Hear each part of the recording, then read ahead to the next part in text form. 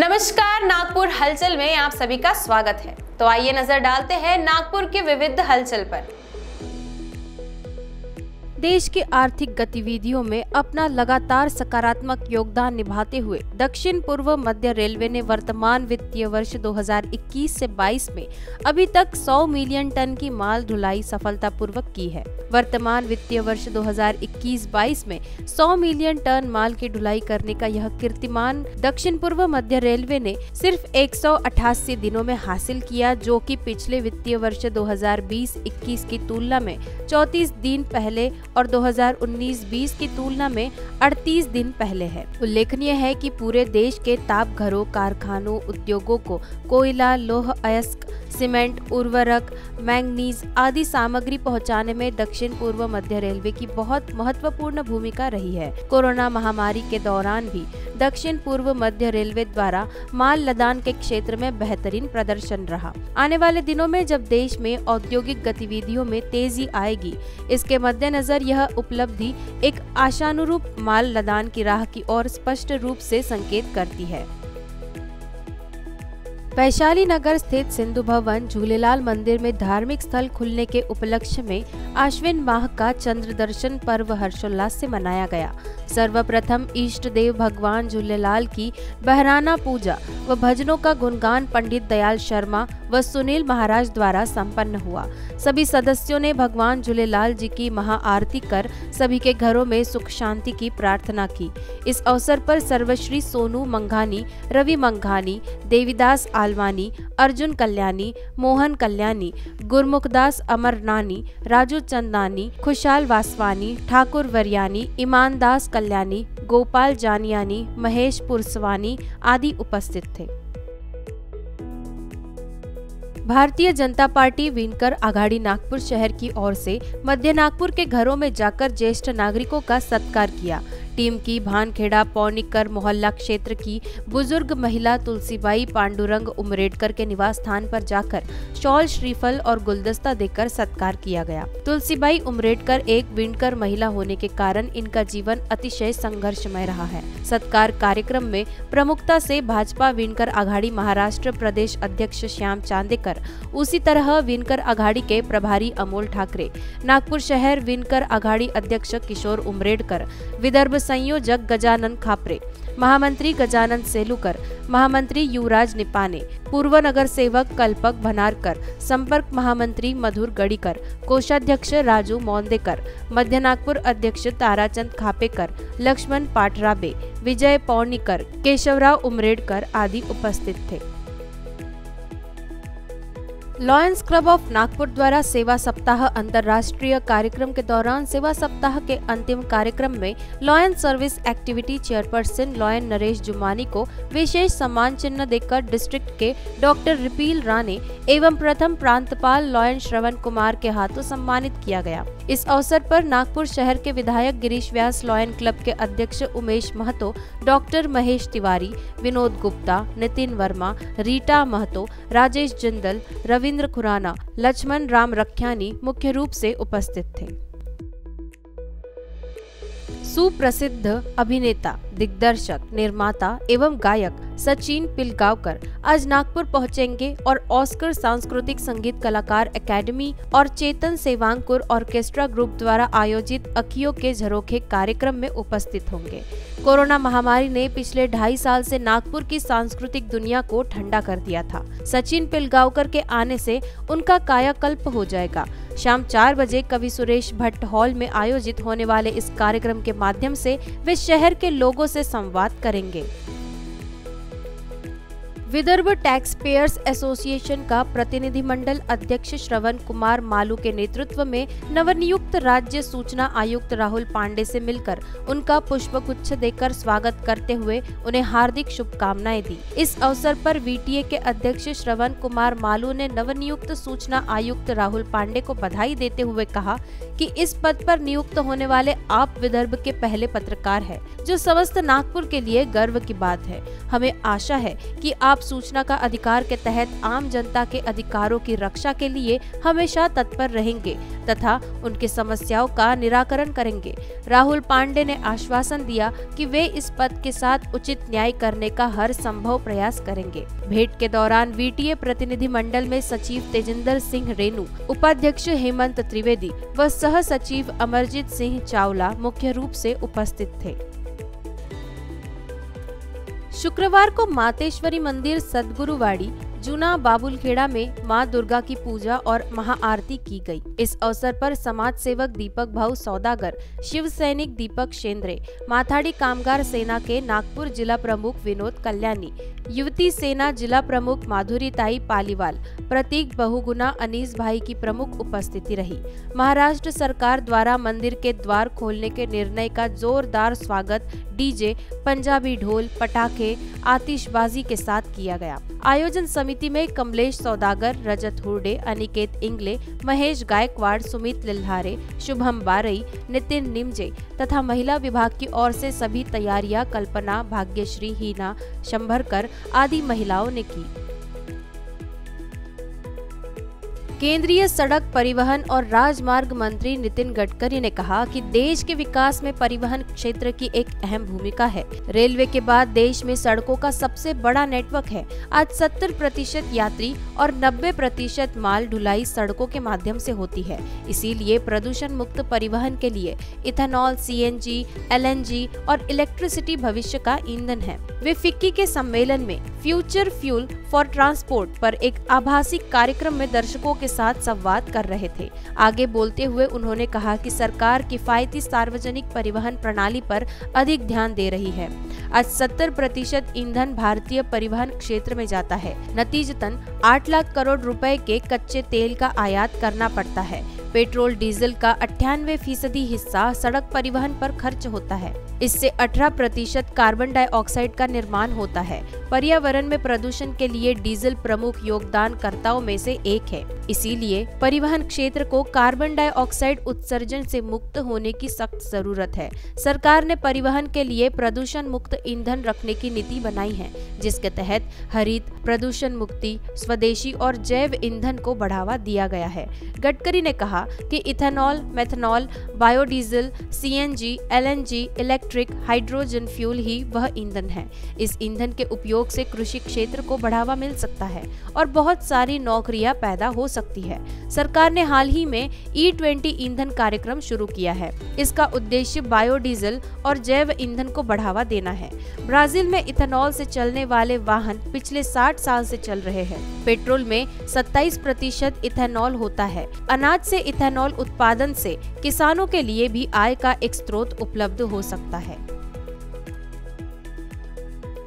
अनुव्रत विश्व भारती सोसाइटी द्वारा निर्देशित अनुव्रत समिति द्वारा आयोजित अनुव्रत उद्बोधन सप्ताह तेरा पंथ भवन नागपुर में संपन्न हुआ। शासन श्री साध्वी चंदन बाबा जी आदि थाना छह के सानिध्य में हर दिन अलग अलग विषयों पर प्रोग्राम किया गया। शासन श्री साध्वी चंदन बालाजी ने अपने उद्बोधन में फरमाया अनुव्रत जीवन को दिशा निर्देश कर सकता है। छोटे छोटे सरल व्रत जो इंसान को इंसान बने रहने में सहायक होते हैं, नैतिकता से शून्य जीवन व्यर्थ है। संकल्प के साथ साथ प्रयोग अत्यंत आवश्यक है। प्रेक्षा ध्यान वैज्ञानिक और प्रयोगात्मक पद्धति है, जिसे सभी को अपनाना चाहिए। हिंसा, भय, क्रोध, घृणा आदि सारी नकारात्मकता को ध्यान के द्वारा शांत किया जा सकता है। दूर किया जा सकता है। साध्वी वर्धमान श्री जी ने सुमधुर ध्वनि से प्रोग्राम को संगीत में बनाया। अन्य साध्वी वृंद ने कभी कविता, कभी उद्बोधन द्वारा हमें जागरूक किया। अनुव्रत समिति नागपुर अध्यक्ष राजेंद्र पटवारी ने अपने वक्तव्य में कहा, मैं अपने आप को गौरवान्वित महसूस कर रहा हूँ, क्योंकि मैं अनुवर्ती हूँ और अनुव्रत का कार्यकर्ता हूँ। आपने सभी के प्रति आभार ज्ञापित किया। अहिंसा दिवस पर हिंसा और अहिंसा पर वाद विवाद प्रतियोगिता का आयोजन किया गया, जिसमें चार्मिंग युवती मंच प्रथम तथा सभा शताब्दी एक्सप्रेस द्वितीय स्थान पर रहे। Marvellous Mahila Mandal, rocking TPF तथा डायनामिक युवक परिषद की भी सराहनीय प्रस्तुति रही। नगर के सिंधी कलाकारों की संस्था सिंधुड़ी यूथ विंग नागपुर के रजत जयंती वर्ष के अंतर्गत सिंधुड़ी अखबार की ओर से सितारा कला जा यह कार्यक्रम फेसबुक के सुहीना सिंधी पेज पर आज रात 9 बजे प्रस्तुत किया जाएगा। साधना सहकारी बैंक के स्थापना दिवस के उपलक्ष्य में व बैंक के संस्थापक चेयरमैन कर्मयोगी स्वर्गीय अर्जुन कुकरेजा की स्मृति में आयोजित होने वाले इस कार्यक्रम के बारे में प्रोग्राम डायरेक्टर तुलसी सेतिया ने बताया कि कार्यक्रम सिंधी रंगमंच व सिंधी संगीत में उल्लेखनीय योगदान देने वाले नागपुर के कलाकारों का समावेश रहेगा। सिंधुड़ी यूथ विंग के सह संयोजक लक्ष्मण थावानी, अध्यक्ष राकेश मोटवानी व सचिव महेश चेलानी के अनुसार इस कार्यक्रम का पंद्रहवा एपिसोड कलाकारा, लेखिका व निर्देशक डॉक्टर मीरा जारानी द्वारा कला के क्षेत्र में दिए गए योगदान पर आधारित होगा। साधना सहकारी बैंक नागपुर के सौजन्य से आयोजित इस कार्यक्रम में साधना सहकारी बैंक के चेयरमैन घनश्याम दास कुकरेजा, साई वसंत शाह दरबार नागपुर के संत साई केशव दास जी, सुहीना सिंधी पूना के अध्यक्ष पिताम्बर पीटर ढलवानी, दयानंद आर्य कन्या व विद्यालय व जूनियर कॉलेज की प्रिंसिपल तेजिंदर एस वेणुगोपाल, कलाकार डॉक्टर विजय मदनानी, भारतीय सिंधु सभा सांस्कृतिक मंच के अध्यक्ष किशोर लालवानी, साधना सहकारी बैंक के संचालक आवतराम चावला, डॉक्टर विकी रघुवानी प्रमुख अतिथि के रूप में उपस्थित रहकर इस टॉक शो में अपने अनुभव साझा करेंगे। भारतीय युवा सेना के नवासीवे स्थापना दिवस पर नागपुर स्थित मेंटेनेंस कमांड में शौर्य स्मारक में air marshal Shashikar Chaudhary AVSM VSM ADC AOC NC maintenance command द्वारा वायुसेना में अपना सर्वोच्च बलिदान देने वाले वायु योद्धाओं के सम्मान में पुष्पांजलि अर्पित की गई।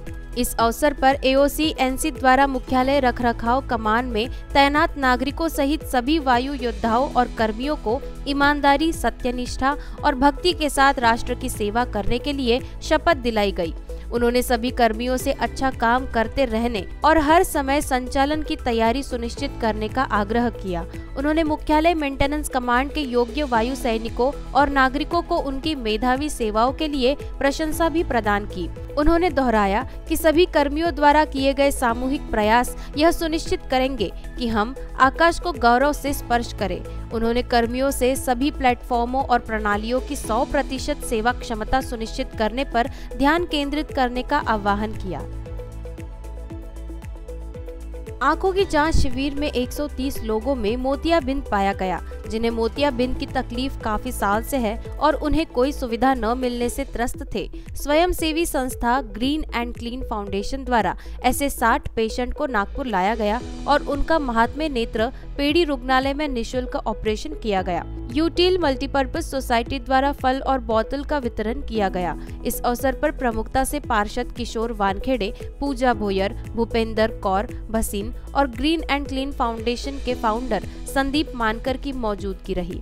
इस मानवीय उपक्रम में दिनेश करमचंदानी, इंद्रजीत सिंह भोजवानी, अर्पित जयस, कमन कानोजे, राजेश मनोहर लाल सावड़िया, अनुराग बिसेन, भोला थोरी, अभिषेक धरनीधर, मोनिका मोटवानी, पंकज त्रिवेदी, सरिता राजुरकर, राहुल गवई, अनिकेत तकरखेड़े, भरत शाहू, गोपाल पेटकर, कौशिक, सुरेश गंदेवर, विक्रम रेड्डी, अमन कनोजिया, सचिन उइके, लक्ष्मीकांत पडोले रुपेश भोयर, राहुल ठाकुर, नीरज कनोजिया, कपिल मोहन शिव कुमार शाहू, श्रेष्ठ चौरसिया, पंकज त्रिवेदी, राहुल गवई, अनुराग निवारे राबज्योत सिंह भसीन, जयेश बेडेकर, मंगेश मिश्राम, संकेत तैवाड़े, करुण जैतवार, गोविंद वैराले, किरण इंगोले, शिवम कानोजे, सचिन उइके। भरत, मनोज करवतकर, उमेश हेडाऊ आदि का योगदान रहा। ग्रीन एंड क्लीन फाउंडेशन के नेक कार्यों की सराहना सभी तरफ़ हो रही है। राज्य के ऊर्जा मंत्री एवं नागपुर ज़िले के पालक मंत्री डॉक्टर नितिन राउत का जन्मदिन आज पार्टी कार्यकर्ताओं द्वारा विविध सामाजिक कार्यक्रमों के साथ मनाया जाएगा। आज शाम छह बजे मैराथन प्रतियोगिता का आयोजन किया गया है, जिसमें युवाओं की बड़ी भागीदारी होगी। विजेताओं को आकर्षक पुरस्कार भी वितरित किए जाएँगे। इस प्रतियोगिता की शुरुआत doctor Baba Saheb Ambedkar sports complex Ahuja Nagar से होगी। कोरोना काल में कई लोगों ने रोग प्रतिरोधक क्षमता बढ़ाने और शरीर से ऑक्सीजन के स्तर को बढ़ाने के लिए योगाभ्यास किया जाएगा। नागरिकों में योग मंत्र वितरित किया जाएगा। डॉक्टर राउत के जन्मदिन पर निशुल्क स्वास्थ्य शिविर और महिला कैंसर जाँच शिविर भी आयोजित किए जा रहे हैं। शिविर में उच्च रक्तचाप, मधुमेह, नेत्र रोग, स्त्री रोग, हड्डी रोग, बाल रोग, मधुमेह, दंत रोग, सर्जरी जैसे रोगों पर मुफ़्त परामर्श और उपचार प्रदान किया जाएगा। यह शिविर श्रावस्ती, समाज मंदिर, Republican Nagar Guru Nanak hall, Ashok Nagar, Pratibha hall Guru Kripa Mangal कार्यालय, टीपू सुल्तान चौक में आयोजित किया जाएगा। इसी तरह कैंसर जाँच शिविर आवले बाबू चौक में आयोजित किया जा रहा है। साथ ही कई स्थानों पर रक्तदान शिविर भी आयोजित किया जा रहा है। बड़ी संख्या में कांग्रेस कार्यकर्ता एवं पदाधिकारी गण इन शिविरों की सफलता के लिए प्रयासरत है।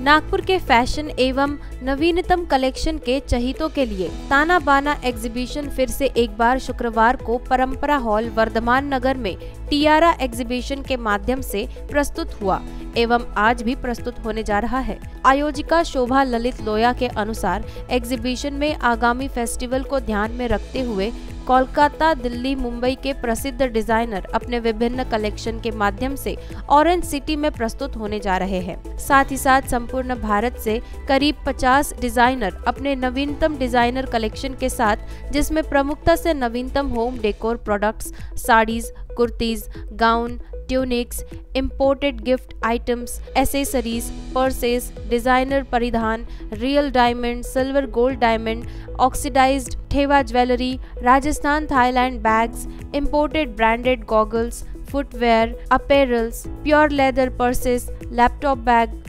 Wonderchef steam press bedsheet, Rajasthani chunni ghagra, leheriya gota patti collection, Banarasi dupatta sari, Govardhan milk product, Gujarati chaniya choli, cloth material, तोरण एवं डेकोरेशन आइटम आदि का विभिन्न कलेक्शन प्रस्तुत किया जा रहा है। एग्जीबिशन शनिवार सुबह 11 से रात्रि 8 बजे तक शुरू रहेगी।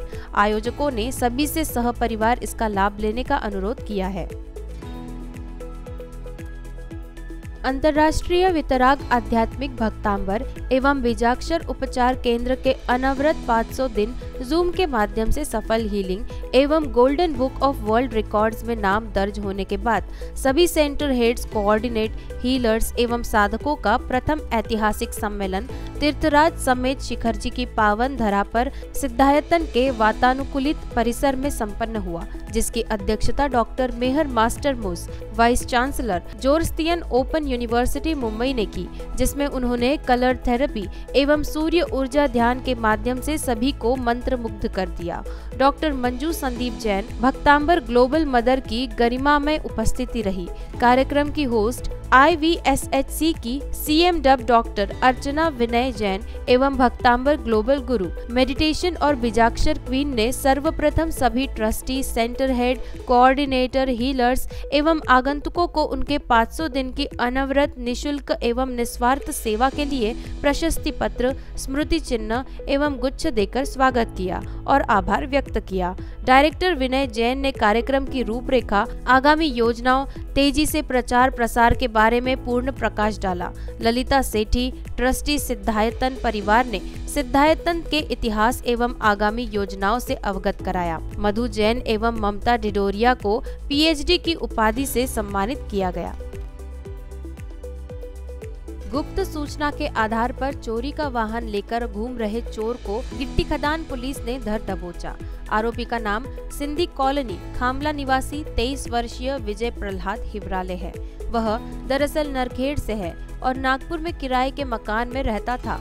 और चोरिया करता था। प्राप्त जानकारी के अनुसार गिट्टी खदान थाने में तैनात राकेश बेटवार को मुखबिर से सूचना मिली कि एक युवक वेटरनरी चौक के आसपास दोपहिया वाहन से घूम रहा है। शक हुआ कि यह बाइक चोरी की हो सकती है। जानकारी मिलते ही पुलिस ने जाल बिछाई। इसी दौरान संबंधित वाहन नंबर के साथ एक युवक कुटाला तालाब की ओर जाते देखा गया। उसे रोककर पूछताछ करने पर उसने अपना नाम विजय बताया। बाइक के बारे में पूछने पर वह संतोषजनक जवाब नहीं दे सका।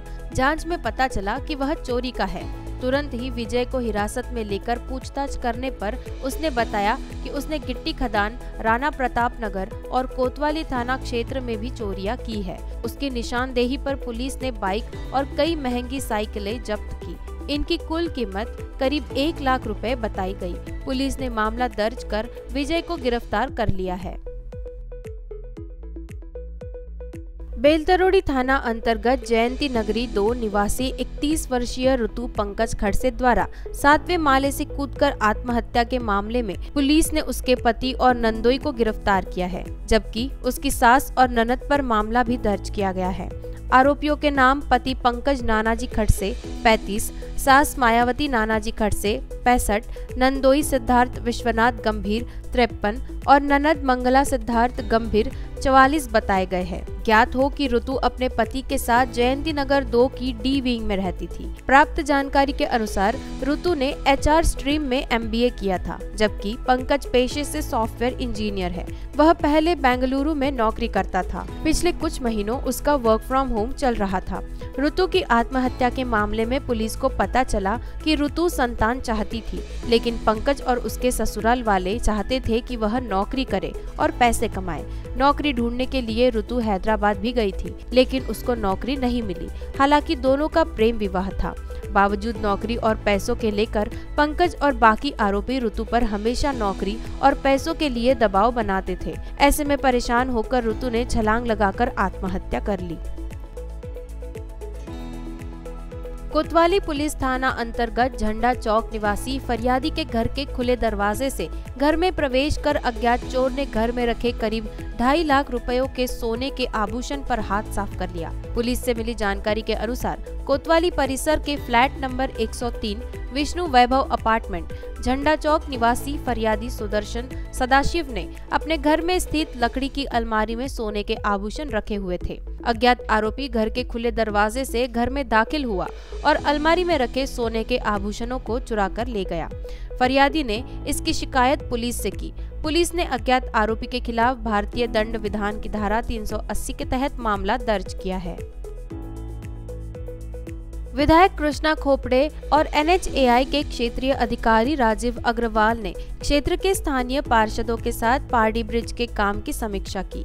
बैठक के दौरान यातायात की भीड़ के कारण नागरिकों को होने वाली कठिनाइयों, पुल के काम में तेज़ी लाने के उपाय और भूमि अधिग्रहण में आने वाली कठिनाइयों पर विस्तृत चर्चा हुई। इस अवसर पर स्थानीय पार्षदों ने भी अपने विचार व्यक्त किए। NHAI के क्षेत्रीय अधिकारी राजीव अग्रवाल ने कहा कि पार्डी पुल का शिलान्यास 2014 में हुआ था। परियोजना 2017 में ही शुरू हो पाई। पहले अंडर ब्रिज फिर ओवर ब्रिज और फिर डबल डेकर ब्रिज बनाने के निर्णयों के कारण इस ब्रिज का डिज़ाइन बार बार बदला और शायद इसीलिए हम ब्रिज का काम समय पर पूरा नहीं कर पाए। इस पुल का 70 फ़ीसदी काम पूरा हो चुका है और शेष 30 फ़ीसदी काम पार्टी के पुराने पुल रेलवे अंडरपास को चौड़ा करने और एचबी टाउन चौक पर कुछ कार्य बचा हुआ है। लेकिन अब इस ब्रिज का काम जोरों पर है और रात 11 बजे तक लगातार इस ब्रिज का काम चल रहा है। इसकी डेडलाइन जून 2022 है, लेकिन उससे पहले जनवरी 2022 तक हम पुल को यातायात के लिए खोलने के लिए तैयार कर देंगे।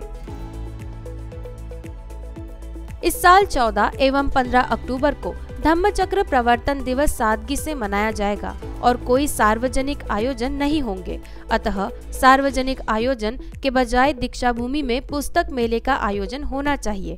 इस आशय के विचार बुद्धिस्ट स्टूडेंट एसोसिएशन के प्रतिनिधि मंडल के सदस्यों ने व्यक्त किए। नागपुर में दीक्षा भूमि में हर साल धम्म चक्र प्रवर्तन दिवस पर करोड़ों रुपए की किताबें खरीदी और बेची जाती है। लेकिन पिछले दो साल से कोरोना महामारी के चलते धम्म चक्र प्रवर्तन दिवस सादगी से मनाया जा रहा है। अतः इस साल कोरोना गाइडलाइन का पालन करते हुए केवल पुस्तक मेले का ही आयोजन होना चाहिए। यह मांग शुक्रवार को बुद्धिस्ट स्टूडेंट एसोसिएशन के पदाधिकारियों ने विभागीय आयुक्त एवं जिला कलेक्टर से की। डॉक्टर बाबा साहेब आम्बेडकर की विचारधारा बौद्ध अध्ययन और पाली भाषा में लिखे गए तथ्य एवं किताब आज के जमाने में भी प्रासंगिक है और इसके माध्यम से मिलने वाले ज्ञान से समाज का उत्थान होगा। यह पदाधिकारियों का मानना है। सचिव उत्तम शेवड़े, उपाध्यक्ष नरेश मेश्राम के नेतृत्व में तनुजा झिलपे, पुष्पा ढाबरे, सखाराम बंडपे परशुराम पाटिल, सिद्धार्थ फोपरे, दिलीप गायकवाड़, श्यामराव हाड़के, दीपक काम्बले आदि सदस्यों ने जिलाधिकारी एवं अन्य प्रशासनिक अधिकारियों को ज्ञापन सौंपा। तो नागपुर हलचल में आज के लिए इतना ही। आपसे कल फिर मुलाकात होगी। तब तक देखते रहिए वीकेबी न्यूज़। नमस्कार।